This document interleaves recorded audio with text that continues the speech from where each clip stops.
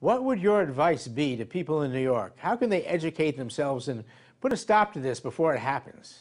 Well, they need to educate themselves by learning who this person is.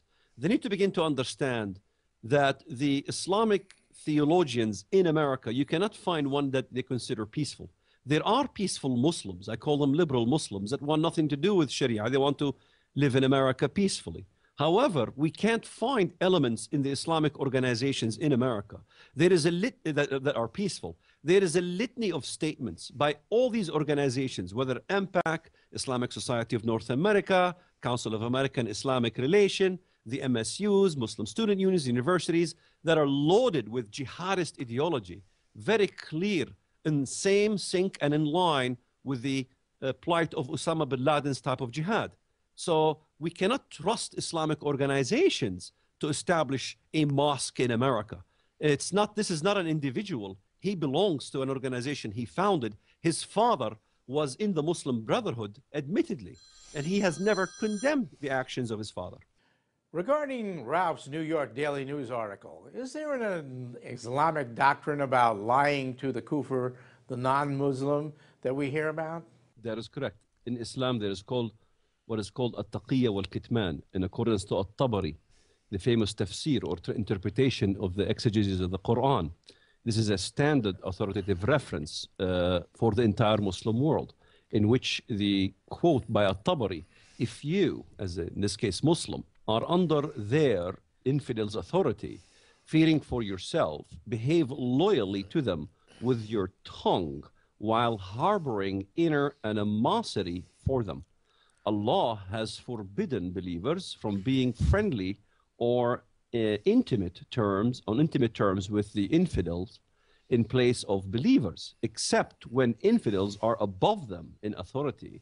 In such a scenario, let them act friendly towards them and also Ibn Kathir, uh, he says, whoever at any time or place fears their uh, evil, that is the infidel's evil, uh, may protect himself through outward show. Uh, let us smile to the face of some people, the non-Muslims in this case, while our hearts curse them. So the Daily News article is an example of that, wouldn't you say? Absolutely. So the question becomes is how do we find out what they conceal in their heart how do you find out uh, the true uh, uh, thinking of this Muslim? Uh, we have this is why we have to go to the Arabic language. You look at the Fort Hood massacre. Right after the massacre, the Lu'ay Safi of the Islamic Society of North America was invited to give speeches to our troops. Uh, yet, when you look at the Arabic language of what he says, he says every Muslim community needs to establish the proper jihad they need to carry out, in this case being political, financial, or actual terrorism in itself. In fact, Lu'ay Safi was found uh, having some criminal charges as of late in which he is being investigated. So the Islamic Society of North America, Slick Willies, scholars uh, who are concealing in their heart truly what they say in the Arabic language. That's why we have to go to the Arabic. This is why, in every single occasion, when people come to me with names, prominent Muslim names, they say, Well, this guy's a peaceful Muslim. What about that guy? What about this guy? Do you know, in every investigation I've investigated, every single Muslim scholar that people gave to me that they thought was uh, uh, liberal or peaceful, I ended up going to the Arabic and finding otherwise. Take Hisham Qabbani, for instance. I had this dialogue with uh, James Woolsey. He was the head of the CIA.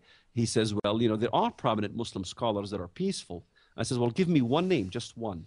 And he says, well, Hisham Qabbani. I said, did you see what he writes in the Arabic language? He says, when the Mahdi appears, Christianity will cease to exist. What's he talking about is the obliteration of our constitution and the Christian world altogether.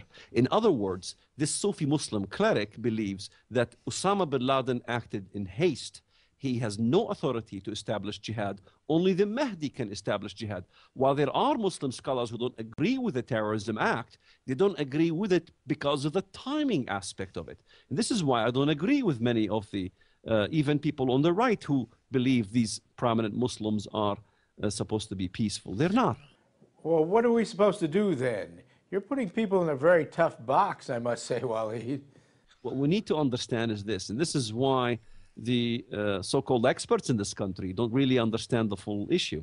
We need to understand that all Islamic organizations in America, when Islam is an, an organized form, it's never peaceful. It's always advocates for establishing a Sharia hegemony worldwide. This is the whole goal of the whole movement. While we see Muslim individuals being peaceful, that's true. There are individual Muslims who are peaceful, and there are plenty of them. But the problem is that we're not looking at the organizational forms of the Muslim movements. When we look at that and try to find a single Islamic organization in this country that we think is peaceful, that is accepted predominantly in the Muslim world, we find otherwise. None of them. Name the organization, and I'll show you the litany of statements they made that support Sharia and jihadist movement. So Islam in an organized form needs to be exposed as such because we don't have movements that are so-called peaceful movements from prominent Muslim scholars. I know people can uh, talk about, let's say, uh, Dr. Zuhdi Jasser. But if you ask Zuhdi Jasser, how many Muslim followers do you have? He says less than 100. That's his own words. And when I asked Zuhdi Jasser at a synagogue, how do you justify Muhammad killing the Jews of Banu Qurayza? He says they had a fair trial. Even he has a problem of exposing the jihadist agenda in Islam because he is tied in a bind. If he denounces these things, he has denounced Islam itself and denounced his own religion because we're not talking about a religion. We're talking about a jihadist movement in this case. Now, I'm not saying that Dr. Zuhdi Jasser is a jihadist. In fact, I appreciate what he's doing. He's uh, really intending to fighting the jihadist ideology. But, you know, you can see even with him being a liberal Muslim, there's still these problems. If the New York situation goes through, if they build that mosque, how will that be seen in the Islamic world? Will it be seen as a great symbol of victory? Well, it's not only the great symbol of victory. I mean, the, the question, I was just talking to my mother on the phone, and she says, she said, well, out of all the uh, uh, uh, lands that we have in America and all God's green earth, they couldn't find a place to pray except on ground zero? Why? What's the purpose? The purpose is establishing an Islamic embassy.